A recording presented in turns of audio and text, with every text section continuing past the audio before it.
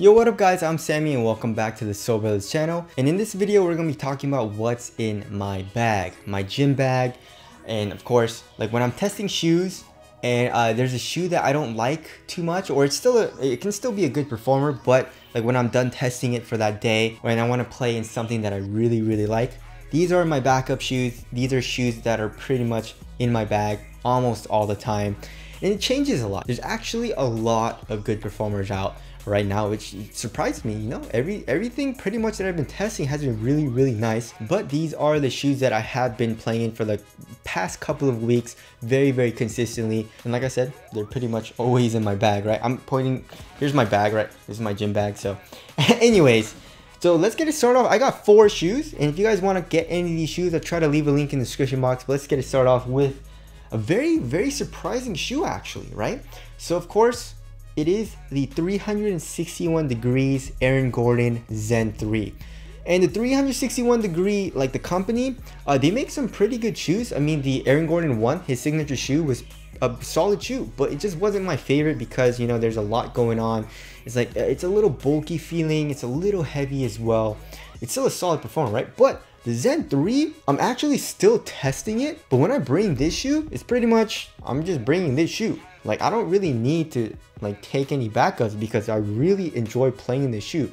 The traction is phenomenal. It has a really nice solid bite, a nice loud squeak as well. Picks up very minimal dust. The cushion is also really, really comfortable, right? Not the best court feel, but with this quick foam light, it's soft, but it's not too soft, you know, like in the Lou Williams Underground or whatever, the, the peak shoe, that, that was a, it was a very comfortable cushion, but it was a little too soft and a little too laggy feeling for me personally. But this feels really nice, right? It has a good blend of responsiveness, but also it's soft and it has a lot of compression. Also, it's a little bouncy as well. So I absolutely love the cushioning setup. The materials feel extremely good as well. It's this like textile material, basically a knit material.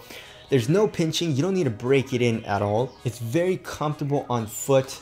And uh, also, I absolutely love these Achilles pillows. These Achilles pillows feel really, really nice and the price is really good it's like 105 bucks i believe and uh, the shoe looks great you know I, i'm actually getting a good amount of compliments on how good this shoe looks from my friends so yeah 100 percent check this shoe out this is a really really good shoe and it's gonna be in a lot of lists.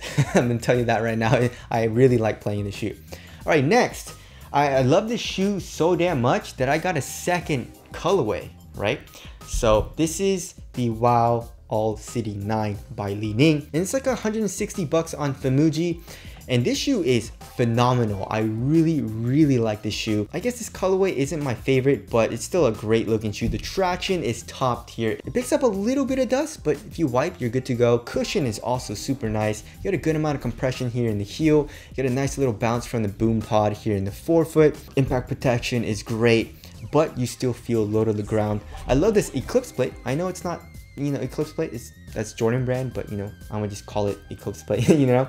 And then the material is really nice, you know. Uh, the quality is good. It's extremely thin. It feels minimal on foot. But one thing that I really like, like they just blend everything well together, is that the tongue has a lot of padding, so that feels really comfortable and cozy as well as here in the ankle area there's a good amount of padding but here in the toe box and here in the midfoot it's extremely minimal so uh, it just feels cozy and very comfortable, but also minimal on foot, you know? I would suggest that you guys get this shoe. This shoe is extremely, extremely nice. All right, next we got, of course, the Nike KD14. I mean, this shoe is just so damn nice. I still can't get over how like I don't like the aesthetics all too much. I mean, it's growing on me a little bit. Like the lateral side looks pretty dope, but look at the medial side, man. Like this, what is this? you know what I mean? But anyways, who cares about aesthetics if the performance is off the charts, right? So the traction, again, phenomenal traction, top tier traction. You're not really gonna find anything better than this traction pattern. Very minimal dust pickup as well. The cushion is probably my favorite. I mean, all of these shoes have really nice cushioning setups, but the KD14 is my favorite. Impact protection is really, really good, but you still get a good amount of compression here in the heel. You get that full length zoom Strobel unit right underneath your foot, so it's very bouncy it's just like it just does everything really really well you know like court feel is really good i would say the court feel is the best out of uh, out of all these. You know, the KD14 has the best court feel. Materials, probably not the best quality for the price, but it gets the job done. It's extremely thin. The ankle area and the tongue have an average amount of padding and support and all that. I didn't really have any issues. So the KD14 is pretty much always in my bag. And last but not least, is the Kyrie Low 4. I actually like playing in the shoe. If I don't want anything like, sometimes I don't want like a nice cushioning setup. I don't know why. Maybe it's because, I don't know, like I, I like to feel fast and I like to feel really quick on my feet. And if you have a little bit of compression, like from the foam or something like that, you feel just a tiny bit slower. Just a tiny bit. I'm not saying it's terrible or anything in these shoes. It's just like, it, if something's a little bit, or actually like very, very stiff, in the foam, like the Kyrie Low 4, I just feel like extremely quick. You know, the traction is also phenomenal. Like all these, all these shoes have phenomenal traction patterns, like top tier, right? And uh, the cushion, like I said, I mean, it sucks, but I like it for something responsive. And I'm playing at an indoor gym now, so impact protection isn't like a huge deal as it was when I was playing on outdoor court, right? And then uh, the material is extremely thin. It feels very minimal. I had no issues with support or anything. There is a little bit of heel slippage, which does kind of suck, but I don't mind it all too much. Everything else about this shoe is just so damn good. And the little minor inconvenience that I get from the heel slippage, because it's not that bad, it doesn't really bother me all too much, right? So the Kyrie Low 4, if I want something very responsive and I want to feel very quick, then that's that's the shoe that I pick for that day. But yeah, these four shoes have been in my rotation a lot. You know, uh, it just depends on the day and it just depends on my mood, I guess, on which shoe I want to bring. Sometimes I bring two shoes, sometimes I bring one, uh, but for the most part, uh, all four of these shoes have been in my bag for the past couple of weeks. But anyways, uh, again, if you guys do want to cop any of these shoes, I try to leave a link in the description box. Of course, there are other really good performers.